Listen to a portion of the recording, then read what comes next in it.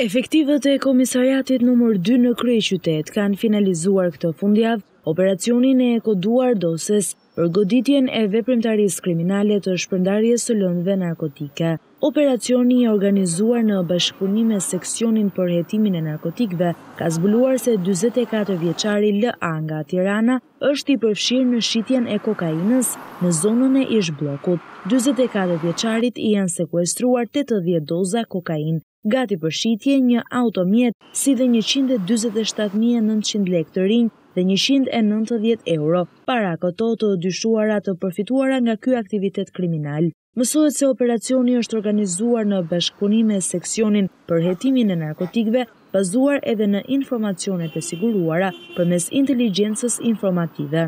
Ndërkohë, specialistët për hetimin e narkotikëve kanë arrestuar edhe një tjetër shpërndarës kokaine bashkë me dy klientë të tij. Në raportimin e policisë thuhet se ata janë ndaluar pas kontrollit në mjetin e njëzet e shtatë vjeçarit MH, në rrugën Muhedin Llagami, Brenda makinës ndodheshin edhe dy të rinj të tjerë, të cilët sapo kishin blerë lëndë narkotike. Për të dy ngjarjet, materialet proceduriale i kanë kaluar Prokurorisë pranë Gjykatës së Rrethit Gjyqësor Tiranë për veprime të mëtejshme.